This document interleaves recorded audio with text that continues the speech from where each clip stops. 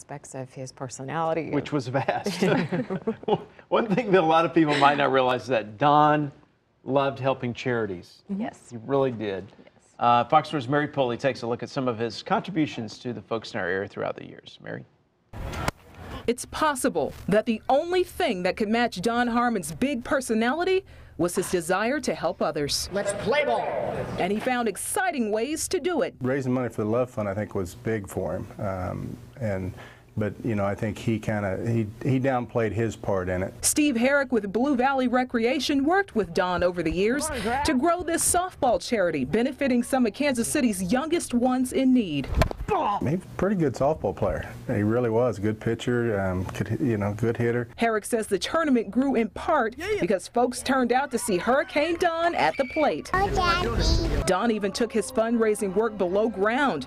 We're talking about this underground groundhogs race he emceed benefiting the Children's Therapeutic Learning Center.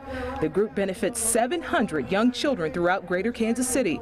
Development manager Tracy Jones was proud to have Don Harman by their side in their effort. I think, um, you know, those kinds of organizations just, um, you know, spoke to him and he was more than willing to help out. People recognize him and, and love him, so it was great to have him. Groups keep pointing to Don's willingness to just jump in and help like he did for kids each year in Grandview. Don served as MC for the school district's trivia night, which generates money for student scholarships and grants. We just loved his personality. So um, after someone mentioned Don, there wasn't any other choice. Coordinator and school board president Rachel Casey recalls how Don gave a little more than his time. He gave a little of himself. The kids and adults all loved him. It was, you know, such a personality that everyone felt like you were his friend. Casey says one of the groups seemed to like Don just a little more than the others. One of the teams this year named their team Kiss Me Don Harman. They looked forward to having him back in 2012. It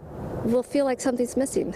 So did organizers of the summer softball tournament. He was really a blast to work with, though, and we'll miss that.